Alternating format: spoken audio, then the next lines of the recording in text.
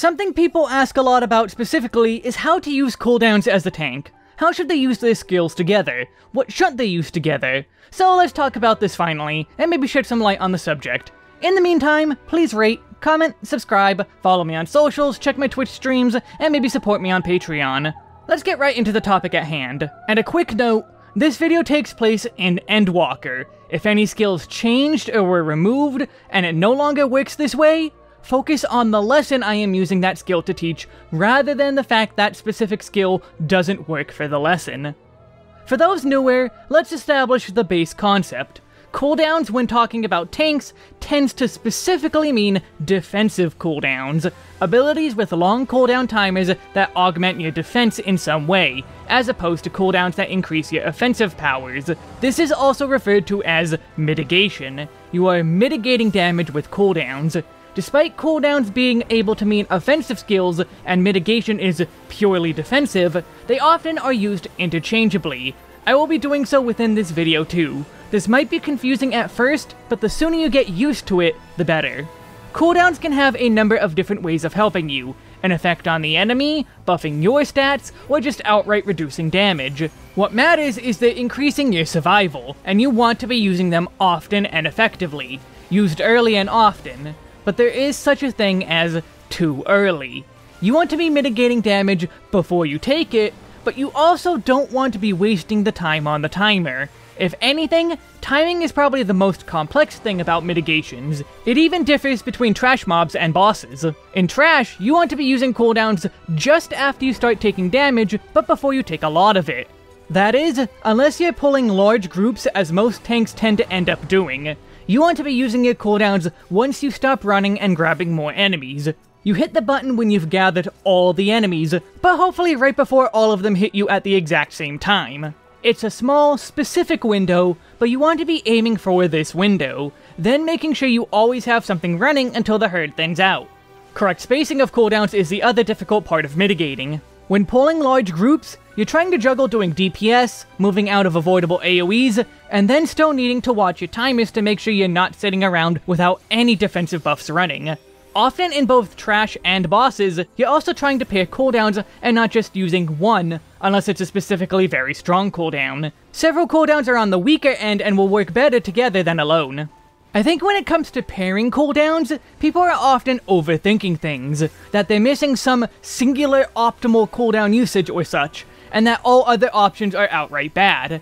But there's many possible pairings of cooldowns that work, and basically every pairing is valid in some way. That even includes your 30% mitigation with another. This also includes arm's length. This works as a defensive cooldown on trash mobs. While it only lasts a few seconds, the slow effect is much longer once applied and is damage reduction. Slow is an attack speed buff, not movement speed. It's harder to quantify than a flat reduction though. It might be less effective in pools with magic enemies thrown in or such, and better in others due to lengthy cast locks for enemies. DPS can also make use of this. If for whatever reason the tank dies, hit arm's length and you might survive longer. The worry with stacking cooldowns is not wanting to use everything at once. You'll have maybe 20 seconds of being near invincible and then a minute of being a wet piece of paper. Stacking this much also makes each additional mitigation weaker. To properly show this, we need to use math. Here we have Warrior. Vengeance is a 30% mitigation. Rampart is a 20% mitigation. Together, that should reduce 50% of all damage that comes to you, right? Wrong. It actually will reduce 44% of all damage. The same reason you want to use all offensive buffs at the same time in openers, we want to avoid doing it for defensive buffs. Cooldowns are multiplicative. Let's say you have 10,000 HP and take a hit of 10,000 damage. Apply Vengeance and reduce this by 30%. That will reduce the attack to 7,000 damage. Now apply Rampart. Reducing 7,000 by 20% will bring it down to 5,600. Now that's 20% of 7,000, but not 10,000. It reduced damage by 1,400. That is only 14% of that original value of 10,000. Effectively, Rampart was only a 14% mitigation, and stacking more makes each additional cooldown even less powerful. This is diminishing returns. At least, if it directly affects damage values. Let's take Thrill of Battle. That increases your HP by 20% for the duration. So with 10,000 HP, it is essentially a 2,000 damage mitigation on any one singular attack. But regardless of how many other cooldowns you use, you're reducing damage by 2000. No matter what, it is a reduction of 20% of your max HP. At that point, the worry becomes not needing that extra HP. And also the fact that Thrill of Battle also increases healing you receive. Healing you for the duration becomes far easier. But what this all really boils down to is that point about all options being valid in some way. There's a ton of factors that you should be accounting for. There is no one right answer, because there is no one singular dungeon, trial, or raid. Every duty will have different specifics you want to worry about if you want to use things to their maximum effect. How strong or weak is your party? How strong or weak is the enemy pack you're fighting? Is there another one right after this, or is that group not worth mentioning? If your party is weak, you want to stack cooldowns even less, because the fight will be longer. Stacking cooldowns makes healing you easier for the duration, but if the fight takes a whole minute before enemies start dying, you need to space out cooldowns to last that long, or become paper and just die. Offload some of the burden onto your healer, since they have their own set of healing and defensive cooldowns too. If you burn everything too quickly, the burden becomes the healer's alone anyway, so spread out the burden by spreading your cooldowns. If your party is strong, the opposite is true.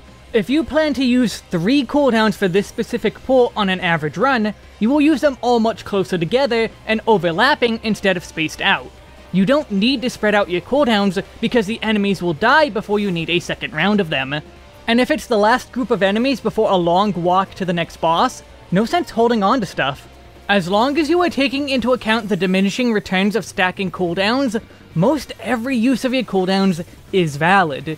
The issue isn't the complexity of what cooldowns to pair together, it's what your party is like. Smart cooldown usage is a good skill to learn, but the part people are missing is that it's not the cooldowns that are the real issue.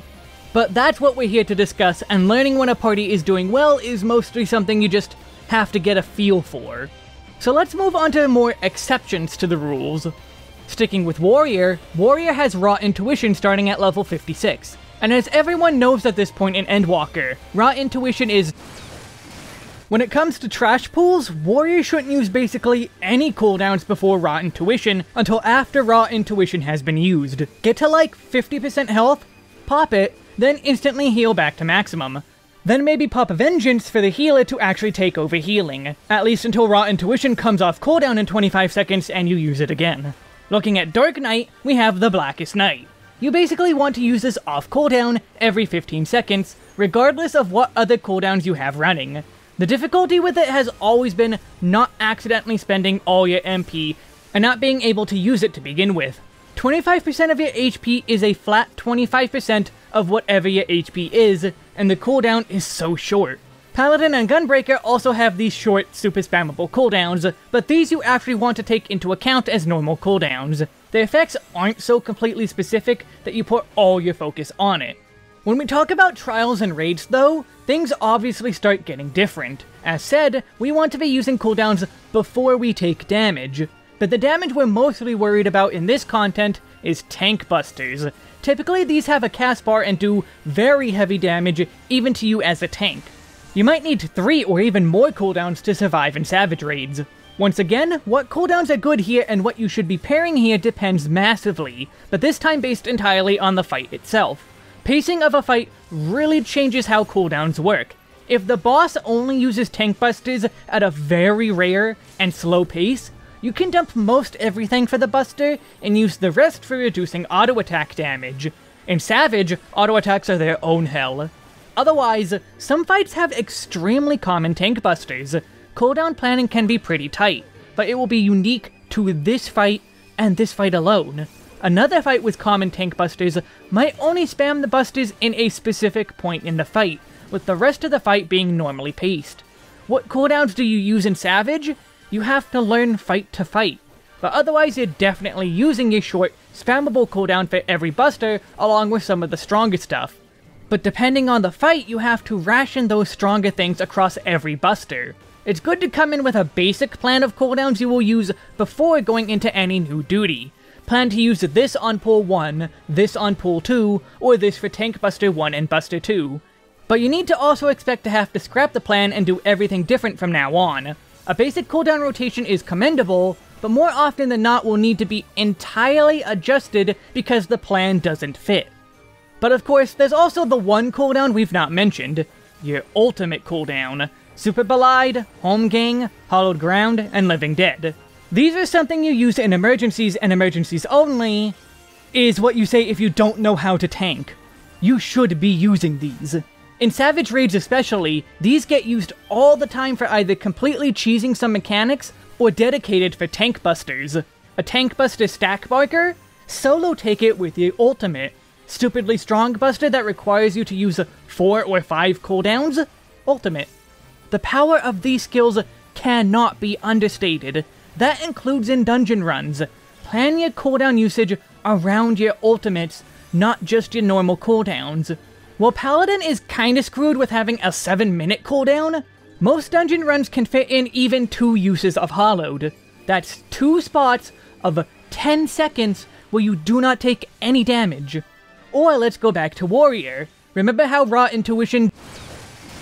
We'll start with Holmgang. Instead of hitting Raw Intuition, let your HP drop low, hit Holmgang, then when Holmgang has 3 or 4 seconds left, pop Raw Intuition and and when you do this multiple times in a dungeon run, you can even make enemies die faster. The healer doesn't need to heal you at first, meaning they can do extra damage for free. Or they're a white mage and will spam Holy afterwards for another 6 seconds of not taking any damage.